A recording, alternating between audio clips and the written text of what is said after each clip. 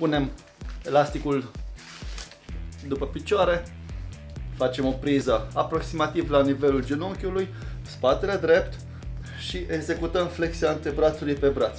Acum, nu tragem cotul pe lângă corp pentru că vom face ramat și nu vrem asta.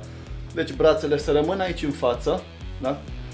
E simplu, brațele să meargă către picioare, pur și simplu către glezne.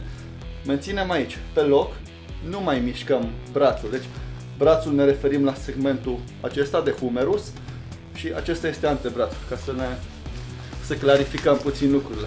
Deci, cu siguranță ați mai făcut exercițiu pe banca Scott la sală, vom încerca să simulăm acest exercițiu, doar fără sprijin. Deci menținem aici și executăm flexia antebrațului pe braț, dar în sus, către ceafă, către frunte, pardon.